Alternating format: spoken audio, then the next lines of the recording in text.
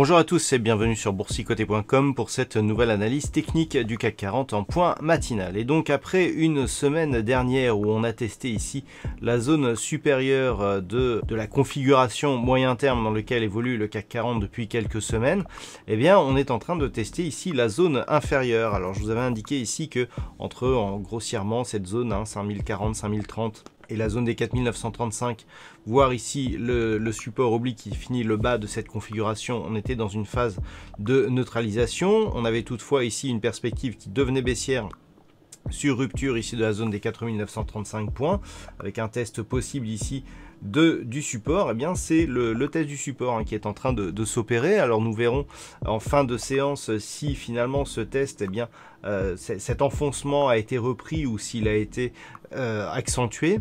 Pour l'instant, en tout cas, on est en train de tester un point bas qui avait été touché ici le 1er septembre, hein, c'est-à-dire un point bas ici proche des 4890 points. Et donc le CAC 40 s'inscrit en hausse après une ouverture sur un gap baissier dès le début de cette semaine. Du point de vue des indicateurs techniques, on manifeste bien ici l'accélération baissière, notamment sur les histogrammes du MACD qui évolue avec une très forte dynamique d'une manière négative. Et on est même entré ici en zone de survente sur le RSI, ce qui n'était plus arrivé depuis euh, quelques semaines, hein, puisque même en unité de temps H4, eh bien, on oscillait en zone neutre depuis, euh, depuis pas mal de temps. Donc on est là sur une configuration qui est en train de, de gagner ici en puissance. Et l'impulsion ici, dont on peut voir d'ailleurs qu'elle représente une forte pression ici sur la bande de Bollinger inférieure, eh est en train de, nous donner un signal qui pourrait être confirmé donc comme un début de mouvement baissier suite donc à une, à une phase de temporisation horizontale relativement euh, longue. Alors, d'un point de vue moyen terme, on est tout de même sur un test encore. Hein. On voit que les, points, les précédents points bas significatifs, donc là on en a un intermédiaire ici sur la zone des 4890 points, on aurait une forte dégradation sur une rupture ici de cette zone des 4840 points. Simplement parce que c'est le dernier vrai contact que nous avons eu ici avec la zone de support. Et le fait d'avoir ici une cassure, certes on casse la dynamique, mais le fait d'avoir une rupture ici de cette zone des 4840 points, eh bien nous donnerait un nouveau plus bas significatif de tendance court terme. Ce qui d'un point de vue euh, bah, de la tendance pourrait nous faire craindre une accélération, voire, enfin une poursuite, voire une accélération ici du mouvement baissier. Donc les points à surveiller pour ce matin, eh bien tout simplement cette zone ici où évolue toujours le support, donc qui se situe entre 4905 euh, et 4910 points pour, euh, pour aujourd'hui. Il va falloir surveiller cette zone tant sur le daily que sur l'intraday. À savoir que là, on valide ici une rupture de cette zone.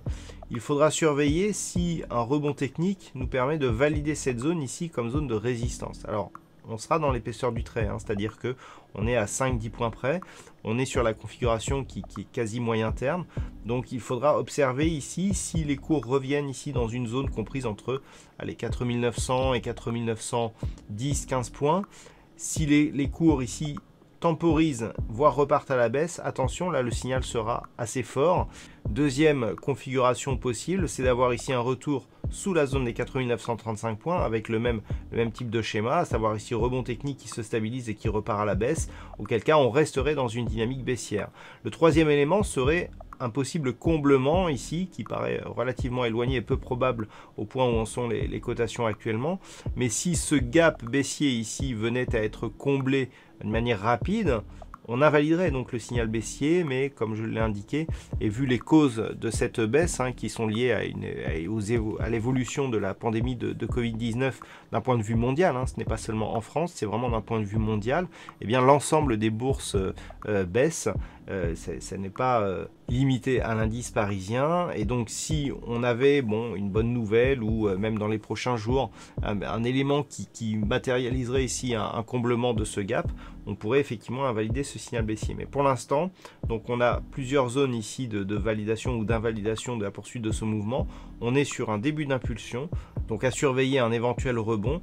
Et en fonction de, ce rebond, eh bien, il apparaît plus probable de pouvoir se placer à la baisse avec un objectif donc 4840 et un retour ici sur cette zone de point bas à 4780 points. C'est actuellement les niveaux qui sont visés et on est en train d'invalider surtout le triangle symétrique. Hein, je vous avais indiqué que plus on allait s'approcher de la pointe et notamment quand on rentrait dans le dernier tiers, et eh bien un triangle symétrique avec beaucoup plus de probabilité de s'invalider, et eh bien c'est certainement sur ce schéma que l'on se dirige si la baisse ici était confirmée dans les prochains jours. Voilà donc ce que l'on peut dire sur cette configuration matinale. D'un point de vue macroéconomique, pas de statistiques majeures aujourd'hui. Par contre, nous attendons l'intervention eh de, Christine Lagarde, hein, qui devrait intervenir aux alentours de 14h45, et surtout de, Jérôme Powell, qui devrait euh, euh, préciser les, des mesures possibles de la Fed pour essayer de contrer les effets euh, néfastes macroéconomiques de la pandémie de Covid. Donc, vu le contexte, eh bien, ces, ces interventions seront fortement suivis et pourront effectivement provoquer de la volatilité dans un sens ou dans l'autre sur la globalité des marchés financiers. Voilà donc pour ce point CAC 40 matinal. Passez une bonne séance. On se retrouve dès ce soir pour toutes les autres analyses techniques du site boursicoté.com.